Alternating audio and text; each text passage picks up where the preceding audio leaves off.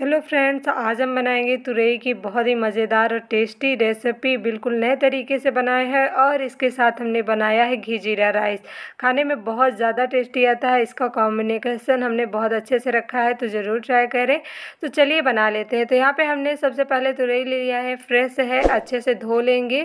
फिर उसके बाद हमें इसे पीलर से पील कर लेना है मतलब छील लेना है। तो आप चाहें तो चक्कू से इसे छीलें, बस इसका हल्का ही छिलका हमें निकालना है, ज़्यादा नहीं। इसके बाद हमें अच्छे से वॉश कर लेंगे, फिर इस तरह नॉर्मली हमें काट लेना है।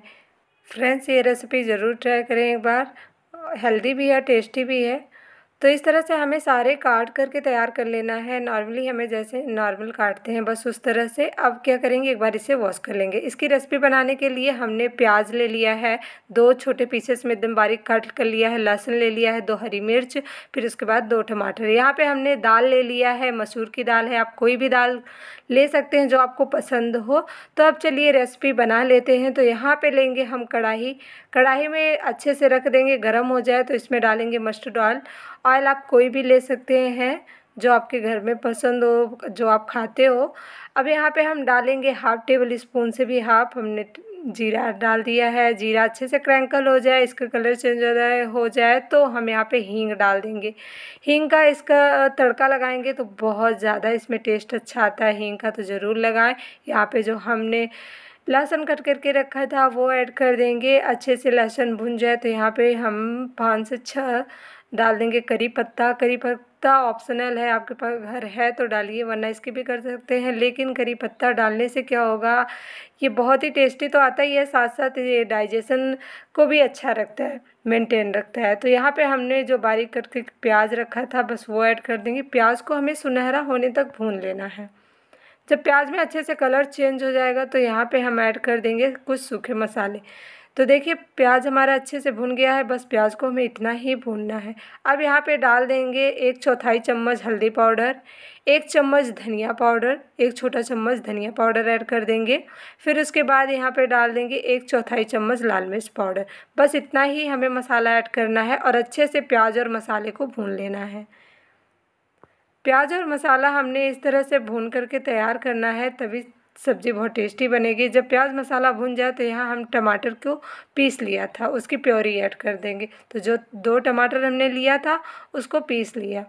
हमें मसाले को बढ़िया भूनना है, करीब एक मिनट तक। तो बढ़िया से मसाला जब भून जाएगा, एकदम ड्राई सा हो जाएगा, ऑयल छोड़ देगा तो हम इसमें ऐड करेंगे दाल।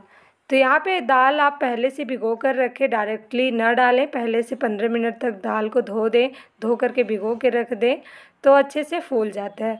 अब हम क्या करेंगे, दाल को ऐड कर देंगे और फिर इसके बाद मिक्स कर लेंगे। फिर यहाँ पे जो हमने तुरई काटी थी, बस वो ऐड कर देंगे साथ में। अच्छे से दो से तीन मिनट तक हमें अच्छे से मिक्स करना है मतलब दाल और तुरई को अच्छे से मसाले में भून लेना है। और तभी टेस्ट अच्छा आता है तो ध्यान रखिएगा कढ़ाई आप मोटे तलवे की ही लें, ताकि पकने में ये लगे ना मतलब जब हम ये रेसिपी बनाएँ तो ये नीचे लगे ना। तो इस तरह से हमें दो से तीन मिनट तक इस तरह से भून लेना है। तो आप देख सकते हैं, हमने अच्छे से भून लिया है। अब यहाँ पे डाल देंगे टेस्ट के अकॉर्डिंग नमक, फिर चला लेंगे। तो यार, मेरा वीडियो स्किप हो गया था। यहाँ पे हम पानी ऐड कर देंगे। करीब जो बाउल लिए थे, हमने दो बाउल पानी ऐड किया है। जो हमने जिसमें दाल रखा था जिस बाउल में, उसी बाउल से हमने दो ग्लास पानी ऐड करके इसे एक मिनट तक हमें लो फ्लेम में कुक करना है, फिर उसके बाद चेक कर लेंगे, फिर इसे हम ढक कर के पंद्रह मिनट तक लो फ्लेम में छोड़ देंगे। जब पंद्रह मिनट हो जाएगा, फिर हम इसे चेक करेंगे फिर से, फिर उसके बाद हमें देखिए, सब्ज़ी बन के तैयार हो गई है। अब इसे हमें क्या करना है, एक मिनट तक और कुक करना है हाई फ्लेम में। तो इस तरह से चलाते रहेंगे, अच्छे से मैश कर लेंगे, एक मिनट तक हाई फ्लेम में कुक कर लेंगे। तो एक बार ये रेसिपी फ्रेंड्स ज़रूर ट्राई करें। तो लीजिए, हमारी सब्ज़ी बन के तैयार हो गई है। हमने बहुत अच्छे से पका लिया, इसका टेक्सचर आप देख सकते हैं। अब इसमें क्या करिए इसे थोड़ा सा स्पाइसी बनाने के लिए हमने यहाँ पे ऊपर से गरम मसाला डाल दिया है। धनिया पत्ती हमारे यहाँ ख़त्म हो गई है तो आप ऊपर से धनिया पत्ती डाल करके गार्निश कर सकते हैं। तो इस तरह से सब्ज़ी बनाए, करीब ये सब्ज़ी बनाने में आपको मैक्सिमम पंद्रह से बीस मिनट लग जाएँगे। तो अब इसे हम रख देते हैं साइड में, अब चलिए हम जीरा राइस बना लेते हैं। तो यहाँ पे हमने बासमती चावल लिया है, करीब दो कप है, अच्छे से वॉश कर लेंगे। और फ्रेंड्स, जब आप कुकर में चावल बनाए तो उसे तीन से चार पानी वॉश करें, ताकि इसका स्टार्च जो है निकल जाए, इसमें मिट्टियाँ वगैरह है जो निकल जाए अच्छे से। तो इस तरह से हमने धो करके तैयार किया है। तो अच्छे से इस तरह से धोएँगे, हाथ की हेल्प से बढ़िया से मसल करके। ताकि इसका स्टार्च बढ़िया से निकल जाए। तो हमने चावल रेडी कर लिया है। अब प्रेशर कुकर लेंगे। कुकर में हमने डाला है दो बड़े चम्मच घी।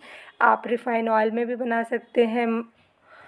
फिर उसके बाद हम यहाँ पे डाल दिए हैं कुछ साबुत खड़े मसाले, जैसे कि दालचीनी, लौंग, इलायची, बड़ी इलायची, छोटी इलायची, तेज़पत्ता और थोड़े से लौंग। फिर उसके बाद जब अच्छे से मसाले हो जाए, यहाँ पे हम डाल देंगे जीरा। जीरा बढ़िया से क्रैंकल हो जाए, चटकने लगे, फिर इसमें हम डाल देंगे चावल। तो चावल को डाल के हमें अच्छे से एक मिनट तक भूनना है।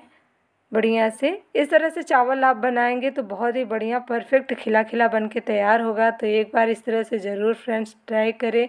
चावल रेसिपी बहुत ही परफेक्ट बन के रेडी होगा। जब एक से दो मिनट हम भून लेंगे तो क्या करना है? हमें पानी कितना ऐड करना है वो मैनेजमेंट देख लेते हैं। तो हमने जो बाउल लिया है, इसमें हमने पहले एक बाउल डालेंगे, फिर उसके बाद हमने आधा बाउल और डाला है। करीब हमने डेढ़ बाउल का पानी इस्तेमाल किया है। डेढ़ बाउल पानी ऐड किया है। अब हमें क्या करना है? लीड लगा के इसे हाई फ्लेम में एक सीटी आने तक कुक करना है। फिर इसे फ्लेम को हम लो कर देंगे, फिर दो सीटी आने देंगे। जब दो सीटी आ जाएगा तो चावल परफेक्ट बना रहेगा।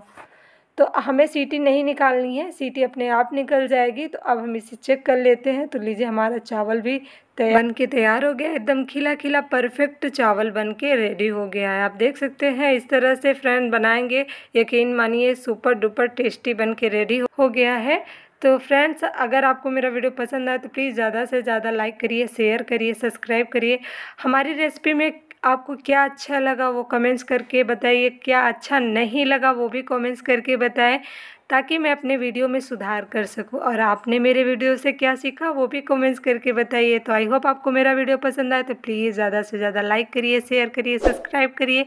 इस तरह साली रेडी करके अपने फ्रेंड्स को खिलाइए। तो मिलते हैं और नई वीडियो नई रेसिपी के साथ। तब तक लिए ख्याल रखिए। हर हर महादेव।